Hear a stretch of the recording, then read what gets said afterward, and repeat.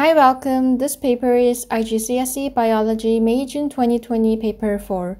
I'll be covering the first half of the paper. Question 1. The gas exchange system is one of the organ systems of the human body. Figure 1.1 shows parts of the gas exchange system during breathing in and breathing out. We have a labeled diagram here. Part A Complete Table 1.1 to show the functions of the diaphragm and the intercostal muscles during breathing in and breathing out, the pressure changes in the thorax. Use these words contract, relax, increases, and decreases. First of all, when you breathe in, your diaphragm contracts. You can see this on the diagram as well. So contract when breathing in and relax when breathing out. Next, your internal intercostal muscles will relax when breathing in, and your external intercostal muscles will contract. The opposite happens when you breathe out. Lastly, the pressure in the thorax will decrease as you're breathing in and expanding the volume, and the pressure will increase as you're breathing out since there will be less volume. You need to memorize this whole table because it's a common question and an easy question to score as long as you know the facts. Figure 1.2 shows part of the gas exchange surface of a human. So this is the magnified version of an alveolus. Part B. State two features of the gas exchange surface that are visible in figure 1.2. Another easy question. The surface is thin for diffusion. Also, it's surrounded by capillaries so that it's well supplied by blood. Part C. The cells labeled X on figure 1.2 form a tissue. Define the term tissue. Just a common definition that needs to be memorized. It's a group of cells with similar structures working together to perform a shared function. Next, cartilage is another tissue found in the gas exchange system. State the functions of cartilage in the gas exchange system. Cartilages can often be found in trachea or bronchi. They are C-shaped rings and they keep trachea or bronchi open and protect them. Also, they reduce resistance to movement of air and help produce sound in larynx. Question 2. Biological washing powders contain enzymes that break down food stains. Part A. Complete Table 2.1 by naming the enzymes that break down three substances in food stains and by stating the product or products. To break down starch, we need amylase and either maltose or glucose will be produced. You can write one of them. For fat, Enzyme needed is lipase, and fatty acids and glycerol will be produced. You have to write both of them in this case. For protein, write any from protease, pepsin, or trypsin under enzyme, and the product will be amino acids. Some students compared how effective biological and non-biological washing powders are at removing stains at temperatures between 10 degrees Celsius and 60 degrees Celsius. Pieces of stained clothes were washed using two different washing powders. The degree of stain removal was measured by using a light meter to record the percentage of light reflected from the clothes. A light meter gave a value of 100% when the clothes was completely clean. Any stain left on the clothes reduced the percentage of light reflected. The results of the student's investigation are shown in figure 2.1. On the x-axis, we have temperature of washing, and on the y-axis, we have percentage of light reflected after washing. There are two graphs for non-biological and biological washing powders. Part B. Compare the effectiveness of the two washing powders at removing stains. Use the information in figure 2.1 in your answer. Okay, comparing graphs take practice, but you'll get used to the format soon. So first of all, state which one is more effective. We can see that the biological washing powder is more effective because it reached 100% faster at lower temperatures. Then state some figures from the graph. For example, biological washing powder removes all stain between 30 degrees and 40 degrees, but for non-biological, it removes at 60 degrees.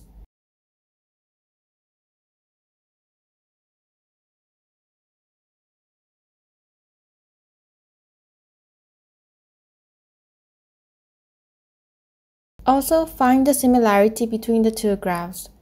The effectiveness is similar at high temperatures from 50 degrees. You can also say that the effectiveness of biological washing powder decreases between 40 and 44 degrees Celsius since there is a significant drop in the graph.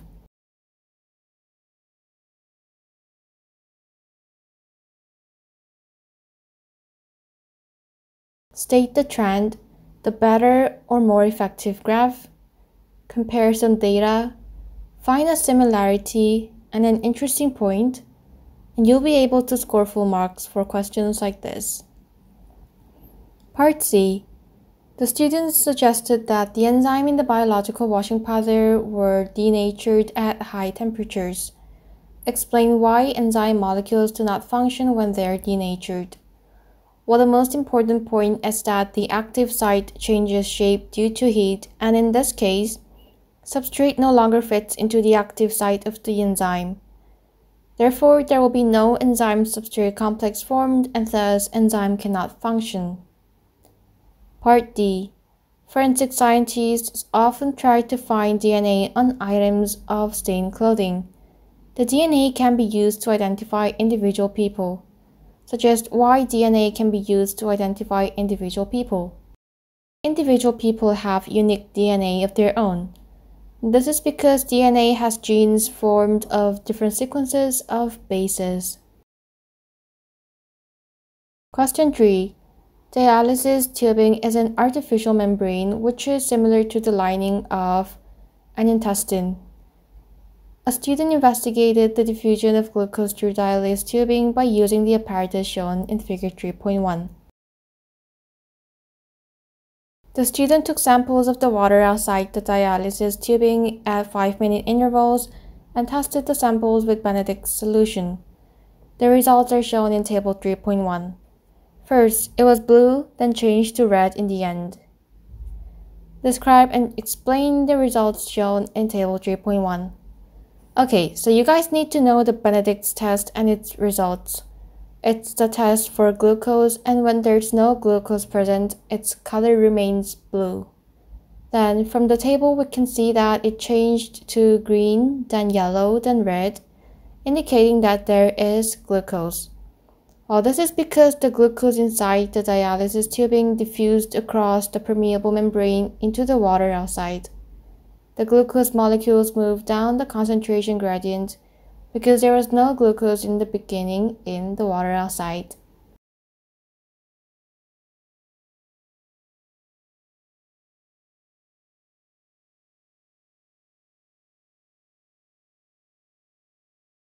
The student repeated the investigation with a higher concentration of glucose in the dialysis tubing.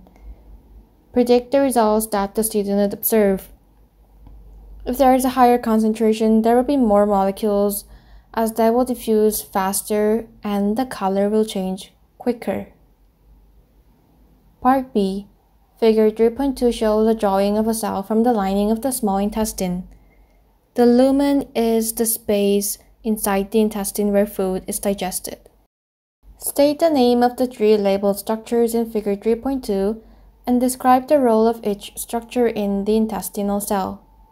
Starting from A, they are microvilli and their function is to allow movement of substances into the cell. Also, they help increase surface area for absorption by diffusion. B is the rough endoplasmic reticulum. It is the site of protein synthesis where protein is made.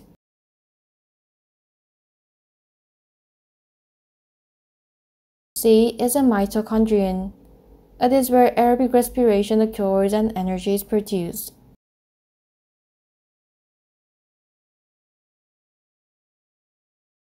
Part C. The cholera bacterium can survive in the small intestine and the large intestine. The bacterium releases a toxin that interacts with receptors on the surface of cells. Figure 3.3 shows the effect of the toxin. The arrows indicate the direction of movement. So this diagram is trying to tell that when bacterium approach the cell, toxin molecules enter the cell and ion X are released from the cell. The toxin stimulates the secretion of ion X out of the intestinal cell. State the name of ion X.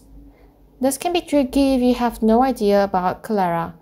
While cholera bacterium causes increase in loss of water and chloride ions. So the answer is chloride.